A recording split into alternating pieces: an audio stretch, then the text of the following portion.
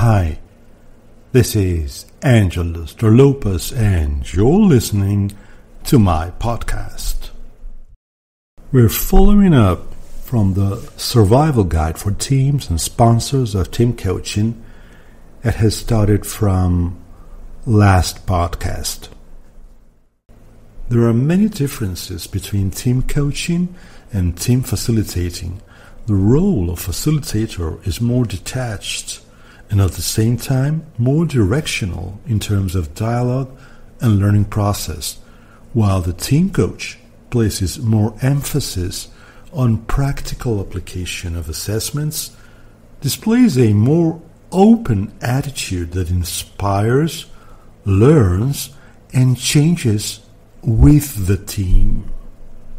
Another important difference is the role and the ability of the team coach to set an example with his transparent attitude and energy, with his positivity and flexibility, with his ability to dance in the moment with the dynamics and team relationships by giving and drawing feed forward.